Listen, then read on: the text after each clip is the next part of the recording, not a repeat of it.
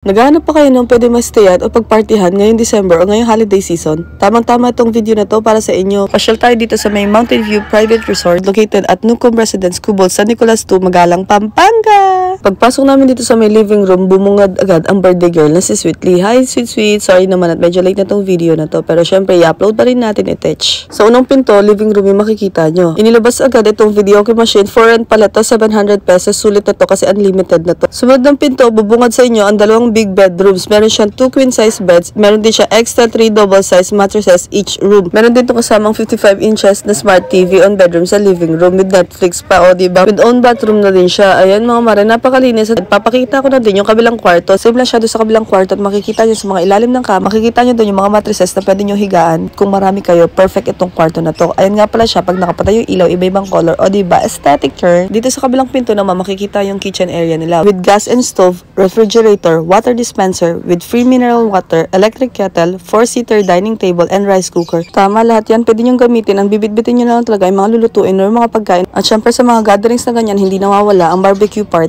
Meron dito sa labas na barbecue griller, pwede siyang gamitin. At syempre meron din silang free wifi access. Meron din nga pala tong rooftop with concrete table and chair. Meron din sila extra 4 pieces na 6 feet lifetime tables and 24 monoblock chairs with parking lot pa. O di ba mga mare, wala na talaga kayong iisipin o problemahin pagpunta na dito. Sus ko mga mare, sa view pa lang makikita nyo na ang bundok arayat dito na sobrang relaxing talaga ng place dito. Napakaganda ng ambience. Isa talaga to Mountain View Resort na ma-recommend ko para sa mga gusto mag-unwind o mag-relax. Bukod sa napakalinis at napaka-spacious na lugar, mga mare, fresh air talaga dito. Ito nga pala yung dalawang bathroom or toilet nila dito sa labas. At ayan mga mare, nakita nyo kung gaano ka-fresh yung water fresh pa sa'yo. Charis, walang chlorine yan mga mare. Sinimulan na nga lagyan ng tubig yung swimming pool kasi sobrang excited na rin itong mga bata batuta. Dahil di naman kami nagmamadali kaya sabi namin sa tito namin okay lang na wag na buksan yung isang generator ng tubig para ma-share ko talaga sa inyo mga marites na sobrang clear talaga ng water as in clear pa sa mukha mo. Charis lang. Ayan nga pala yung view. Napakaganda talaga ng view na to mga mare. Ang sarap dito mag holding hands while walking. Miss you babe. Habang inaantay yung pagkain, ayan na sinimulan na ng tito ko ang mag-video okay. Isa yung tito ko sa pambato ko sa video okay. Ilalaban ko yan ng dancing queen. Oh. Gusto niyo yun? Dahil medyo atat na to mga bata, ayan, nagsimula na kami mag-swimming at magbabad dito sa tubig. O mga mare, sobrang labig ng water kasi nga fresh water yarn. Grabe, sobrang namiss ko mag-swimming dito kasi sa Macau, bihira lang kami mag-swimming. Kaya naman, sinusulat ko talaga yung mga panahon, ng mga oras na to na nawala or yung mga nalalampasan ko.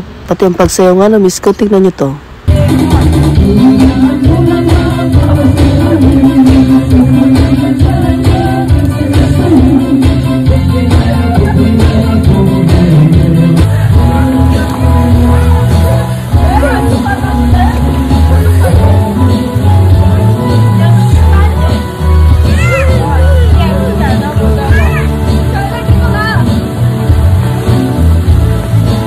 Tawag ka, pamilya dancer at singers mga yarn. At syempre, tapos namin sumayaw, ano pa ba ang mararamdaman natin? Eh di ang gutom. At ayan na yung tatay ko, binigyan kami ng hotdog. Ang sarap! At nung maraming naluto na, tinawag na kami para mag-start na mag-lunch. Ayan nga pala yung handa ng aking pinsan na si Sweetly. Sobrang daming pagkain. At sabay-sabay tayo matakam for today's video. Ayan nga pala, kain na na muna. Wala mo ng katak-katak kasi sobrang gutom na kami. Ayan nga pala yung birthday girl. Hi, sweet sweet, happy birthday. Pagkatapos kong pinakain yung anak ko, it's my turn to laklak naman. Ayan mga mare, makikita nyo kung gaano ako kalakas kumain pero hindi ako tumataba. Yes mga mare, yun ang legit na sikreto ko. Ewan ko ba kung bakit hindi ako tumataba. Pero okay na din yun at isa kain ko yung gusto ko.